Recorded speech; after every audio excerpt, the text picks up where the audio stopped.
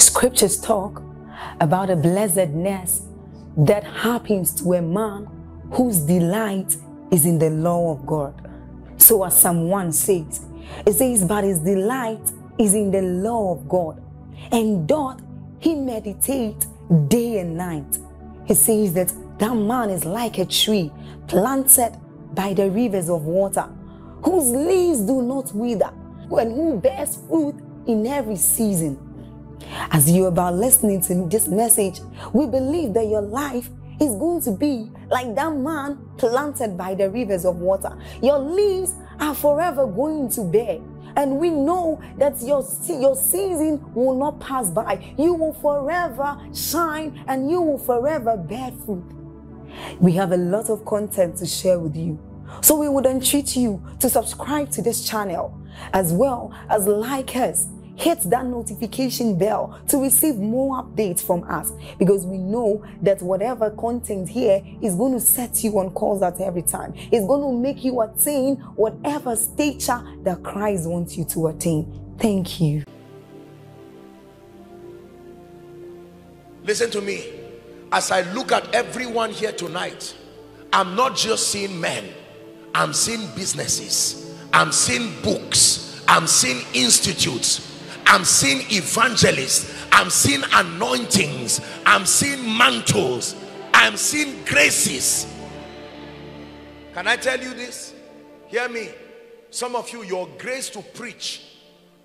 Someday, when the generation of our fathers have gone, some of you who are seated there, you will be the one standing here and you will, you will recap this thing. You will say 30 years ago, when our fathers were still here please don't disappoint destiny through carelessness. Make up your mind that everything God gave me today Miles Munroe has gone but some of us remain his students and extensions of his conviction.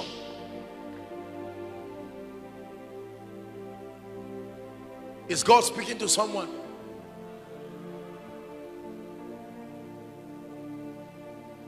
I love the hymn that says, I'll do as it beats me, whatever the cost. I'll be a true soldier. Some of you don't remember those hymns again.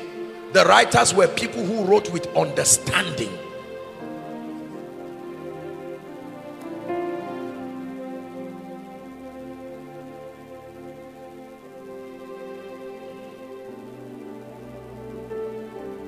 What can I do? There is nobody seated under the sound of my voice who is empty. What do you have in your house? Second Kings 4. The woman said nothing except she did not know that what she ignored was what had the power to bail her out. Can I tell you this? Your reward in life will be based on your discovering, your developing, and you're deploying your gift. Let me repeat. Your reward in life will come as a result of discovering developing and deploying your gifts. I don't do ministry for money. I don't do ministry for fame. I don't do ministry for honor. I don't do ministry for recognition I do ministry because I love Jesus and I found it as a divine mandate over my life.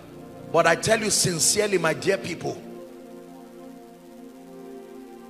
most of what many, most of what people will look for in their lifetime in discovering, developing, and deploying the giftings of God, He has brought them to my life so cheaply that sometimes I wonder I say, is it true that life can be this cheap? You don't know how cheap life can be till you are in the presence. Look, no matter how a fish tries to fly, it can't do well flying. There are dolphins that try to fly, but they go back as a reminder that you were designed for the sea. There are birds that try to step into the water. Can I tell you this? You are a master when you develop, discover, develop and deploy your gifting. There are gentlemen handling this camera right now. As anointed as you think I am, it is not my place. If I go and push this man and I say, you don't know what the anointing can do, and I hold that camera, you may be annoyed by what you are seeing. You see that? Because it is not a gift, it is not our ability. I've not invested in developing it and I'm not deploying it. Finding your gift is only one part of the equation. Listen to me. There is a difference or there is a relationship between competence and confidence. You will remain in shame for the rest of your life until you find something that stands you out. Listen, end this journey of competition, fighting, getting angry. There is no space for that. Kill that any space for those things in your life and fill it up with relevance that brands you by discovering your place. You never see planes clashing in the air because of space. Traffic only happens on land. But once you are in the air, there is space for every plane, no matter how big it is. You never see traffic at sea like a big, these giant ships that carry cars that have almost skyscrapers built in them and yet they move freely at sea. Can I tell you this? There is a space for you. Let your gift take you there. The Bible says the gift of a man. Are you learning something tonight? The gift of a man. Someone shout, I am gifted. Let the devil hear it. Say, I am gifted. Let your destiny hear it. Say, I am gifted. Let your past hear it. Say, I am gifted.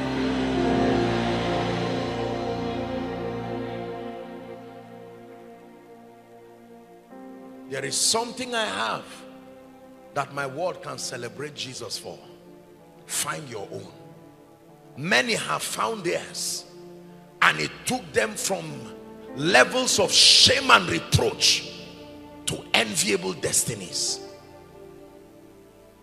Let me give you an assignment.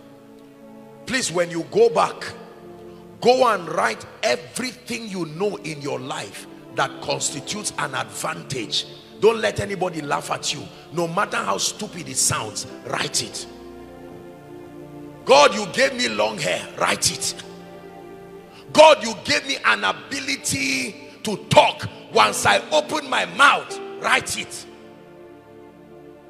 God, you gave me this beautiful voice to sing. Write it.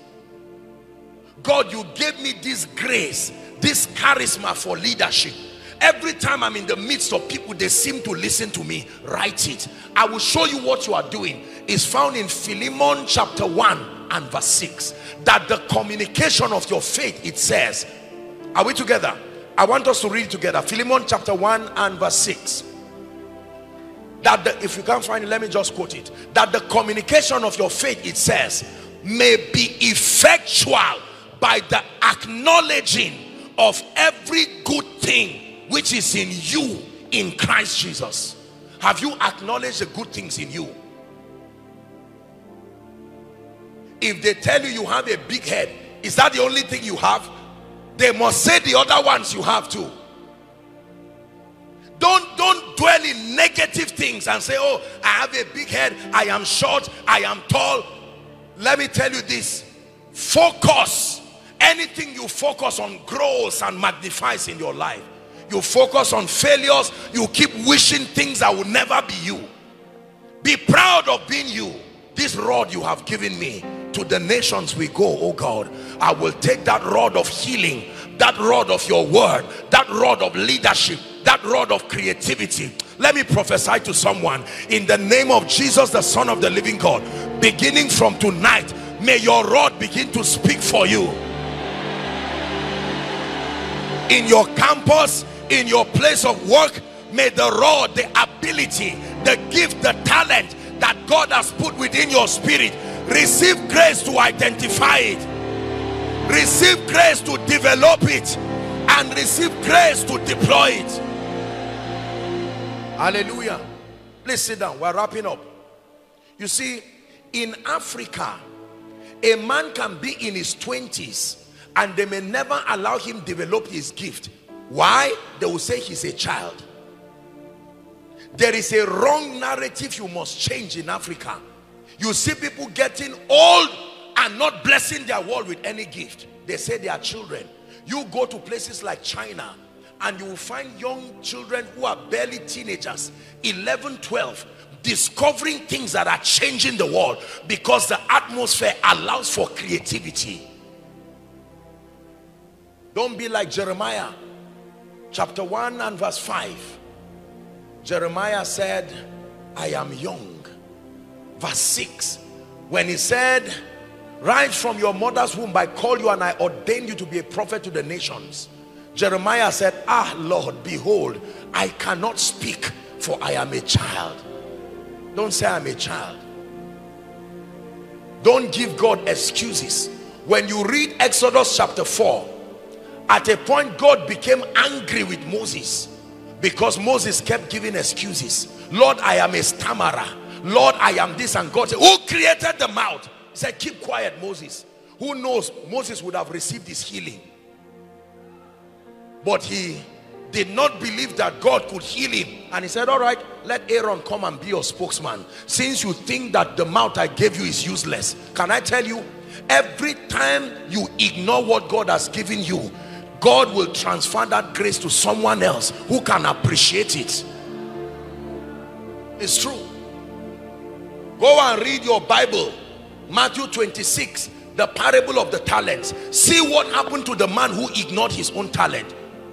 When he brought it, he said, I know you are a hard man. You like reaping where you did not sow. Look at what you gave me. And he said, no problem, give it to me. He took it to the man who identified it. There is nothing God gave me that will not be used to bless my world. If he gave me a voice to sing, I will sing. If he gave me a brain to think, I will think. If he gave me a lips to declare his grace, I will declare it. If he gave me an anointing to heal, I will heal every sick person I find. If he gave me a grace to cast out devils, I will cast out every devil I find. Everything you have given me, oh God, let it be used for your glory. Is someone learning tonight? Question one, who am I? Question two, where am I from? Question three, why am I here? Question four, what can I do? Question five, where am I going? The fifth and the last question you must answer is a question about your destination both here and when this life is over is the fifth question that any man who wants to live a life of meaning and purpose and relevance must answer First Corinthians 15 19. Please write it down. First Corinthians 15 19. Let's read together if we can see it. Ready? One, to read. If in this life only we have hope in Christ, he said we are of all men most miserable. That means in all of your voyage, you come to a point where you realize that someday this life will be over. No matter how young you think you are no matter how old you think you are even the baby that was born today will get to a point where their lives and their destinies wrap up. Whether it is the day that you see him or the day he sees you the day both of you meet that is the end of your chapter here all my days on earth I will await. The moment that I see you face to face. For nothing in this world can satisfy. Jesus, you're the cup that won't run dry treasure of my heart and of my soul. It's in my weakness you are merciful. Redeemer of my past and present wrong. You're the holder of my future days to come. So who is like you, Lord, in all the earth? Much less love and beauty, endless worth. Nothing in this world can satisfy. Jesus, you're the cup that will run dry. Jesus, you're the cup Yes, you are the cup that will run dry. Hear me, ladies and gentlemen. You are closer to your the end of your day now than you were when you woke up this morning. You may not like to hear what I'm saying, but it's the truth. Whether you like it or not. For every time you celebrate your birthday, realize that you're celebrating two things. Number one, you are celebrating the reason for which you were born, not just the day you were born. You are celebrating the reason for which you were born. Number two, you are acknowledging the fact that time is going. Celebration of birthday is an acknowledgement that I do not have forever on this earth. Can I tell you, it is my desire and my prayer for you that by the time he calls, you will not go in shame and pain and start giving excuses and say, God, but I did not finish this. Till he returns or calls me home. Here in the love of Christ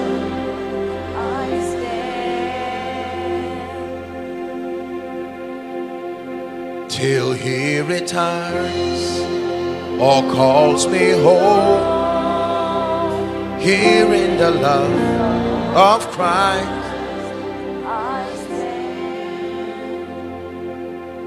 Can I tell you this? We're about to pray. Everyone, please listen to me very carefully. Everybody who is gone today was once in someone else's funeral. Everybody who is dead today once stood before a dead body. Can I tell you this? By reason of the work that God has called me to do, I have seen many funerals in my life. I have seen people that I love. I get news about someone's transition an average of every day. Because usually when people die, they reach me in hope that maybe let's see if we can pray for the person to come back. So i get text messages. A prominent man in this nation who was just appointed not too long just passed on to glory. And i remember my phone text messages please let's pray for this person. Can i tell you this? Every one of you including the person talking if christ tarries one day this life Listen carefully. Only what I've done for love's reward will stand the test of time. When it's all be said and done, all my treasures will mean nothing. Only what I've done for love's reward will stand the test of time. Lord, your mercy is so great that you lose our weakness and find precious joy in married clay, turning sinners into saints. And I will always sing your praise here on earth and ever after. For you've shown me heaven's my true home when it's all been said and done. You're my life when life is gone. Listen. There are many who have gone before us Some of them started this year with us. In fact, some of them were alive last week. As at last week, if I preach this message, they would think they still had 30 years, not knowing they had seven days left. Only God knows how many days we have. Ours is to continue to declare long life so that we can serve his purposes. But I repeat that song again. Till he returns or calls me home here in the love of Christ. Now listen carefully. For those who have answered this question, you don't fear death. You will live long, go. Don't worry, don't be afraid. But the reason is not because of fear. The reason is because you need time for your assignment. You must get to a point in your life where like Paul, you can say for me to live is Christ. But to be absent in the body is to be present with the Lord. I came here tonight as led by the Spirit of God to ask you these five questions. We're about to pray. Listen. For some of you, question five. God asked certain people question five at the start of this year. They refused to answer. Now it's too late. Now hear me please. What I forgot to tell you is that all these five questions, you cannot answer them when you are gone. You are only given a chance to answer them within the frame of your lifetime. I bring you good news. I hope it does not sound like bad news. The time is ticking. You would have answered these questions last year, but you ignored it. His Majesty has brought me again to ask you one more time. Question one Have you found who you are in Christ? Question two Have you recognized your source? Have you recognized your connection? Question three What's question three? Hmm.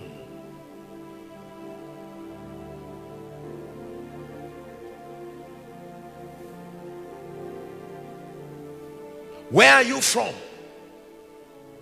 And why are you here? Please go back and ask that question. Why am I here? I'm not just here to escort others, clapping for people while they are making it. Question four What do I have? Or what can I do? What can I do? I may not be able to do everything, it's not needed. But the one thing that God has mandated me to do, can I tell you this? I vowed a vow with my life that as far as it depends on me, I don't claim to know everything. I don't claim I can do everything. Yes, in Christ. But as far as destiny is concerned, I have my allocation. I vowed a vow that I would not fail my generation. Can I tell you this? You are listening to me today because many years ago I was intentional about my life I made up my mind that I was not going to waste my time roaming around earth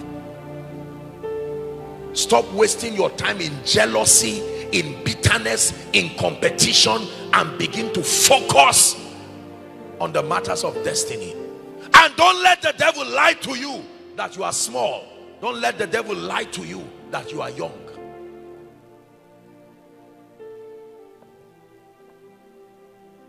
We'll sing one more hymn and then we'll stand. Stand up, stand up for Jesus. You know that hymn? Ye soldiers of the cross, lift up his royal banner. It must not suffer loss from victory unto victory, his army shall lead till every foe is vanquished is Lord indeed. Two prayer points. I'm going to leave you for the next two minutes. Our time is gone. I don't know how you are going to cry before your God of heaven. Forget about whether I'm a preacher, I'm a student fellowship president. Throw that one behind. Cry for your destiny in the next two or three minutes. Cry for your destiny.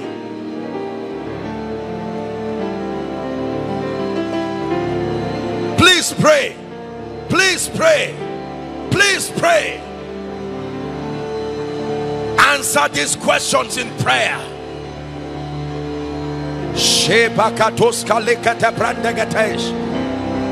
It is good that a man bear his yoke in his youth.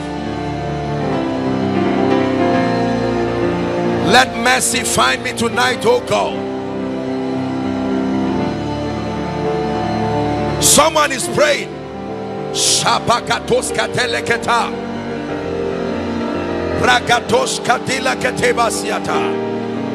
Who am I? Where am I from? Why am I here? What can I do? And more importantly, where am I going when this life is over? Five questions you must ask and you must answer to live a life of meaning and a life of purpose. One more minute. Cry before the God of heaven. Shateke parakoshka pakata.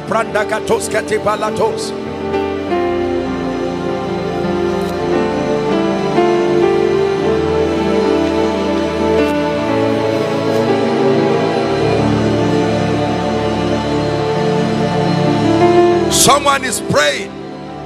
As you pray, remember your generation. They are looking up to you.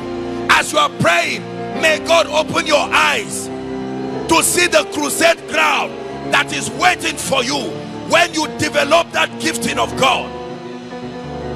See the hospitals that you will build as a result of living a purposeful life. See the lives that will say, Thank you that you were born.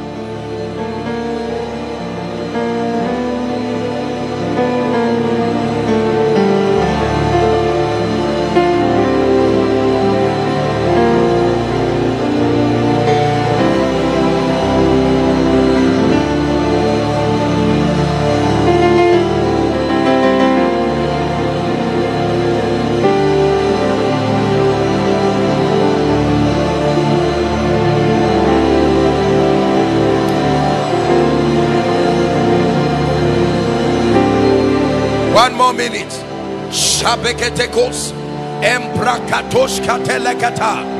Seeing then that we are surrounded by so great a cloud of witnesses, let us lay aside every weight and the sin that doth easily beset us, and to run with perseverance the race that is set before us.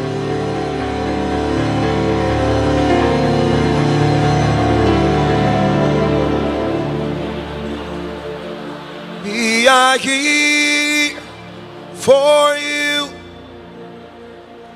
Come and do what you do.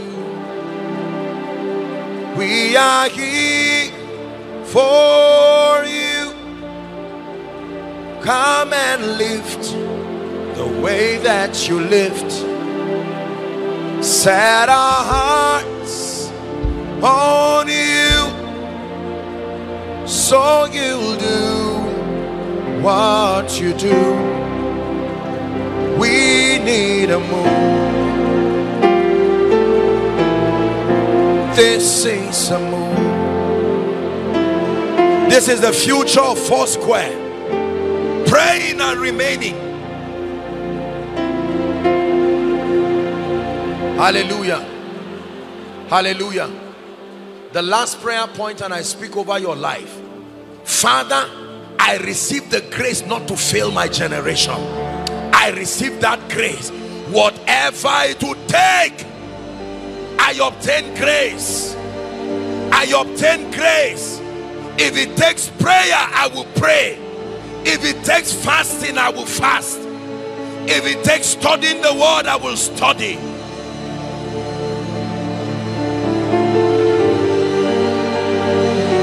Shabakatos.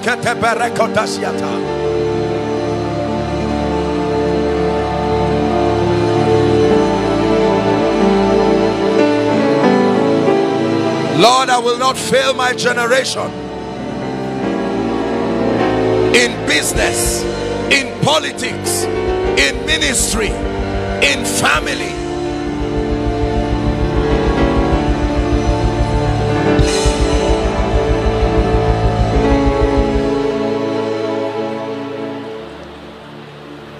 Keep praying. You have one more minute.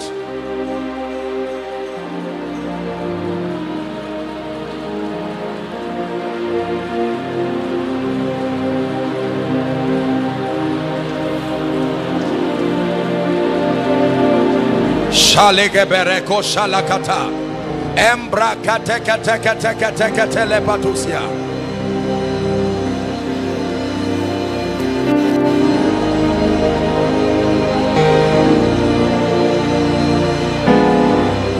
In the name of Jesus. In the name of Jesus. In the name of Jesus. Please do not forget what you learned tonight. Go and listen to this teaching again and answer these five questions like a student would answer an exam. Because if you fail this exam, it's not just a carryover you will have. If you fail this exam, it can cost you your life and your relevance. Let me repeat the question one last time. Number one, who am I? A question of your identity. Number two, where am I from? A question of your source and your connection and your allegiance. Question three, why am I here? A question of purpose, finding your place in life. Question four, what can I do? identifying, developing, and deploying your gifts, your potentials. And number five, where am I going to when this life is over? Let me remind you of the assignment I gave you. When you go back home tonight, go and write it. Lord, what is my place in destiny? Reveal to me. And write everything that constitutes an advantage in your life. Start developing it. Developing it by buying relevant materials. Developing it by develop it by read reading the books and listening to relevant teachings that relate to that area of gifting and I can assure you you're on your way. Hello. Scriptures exhort us from the book of Proverbs. It says, My son, attend to my sins, incline thy ears to my words, let them not depart from thy eyes, and keep them in the midst of thee. As you have listened to this message, we believe that you are going to reap the blessings thereof if you attend to these words as well. That you will keep these words in the midst of your heart. That no matter the circumstance, your eyes are going to be fixed on these words. And as you have been blessed, we will tell you to share this message. Be an evangelist by sharing to others to be blessed and then subscribe to this channel for us. Because we have loads of videos we have loads of content that is going to make you blessed that is going to set you on course that is going to set you ablaze. And don't forget to like for us. Thank you